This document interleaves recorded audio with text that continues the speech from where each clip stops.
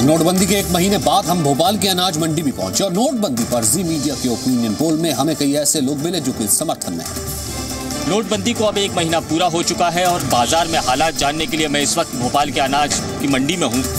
भोपाल के चौक बाज़ार की गल्ला मंडी में अनुपम अग्रवाल काफ़ी समय से अनाज का कारोबार कर रहे हैं। इस अनाज व्यापारी की राय में नोटबंदी का फैसला सही है या गलत? सरकार पास है या फेल? नोटबंदी के फैसले को आप क्या कहेंगे? सरकार पास है या फेल?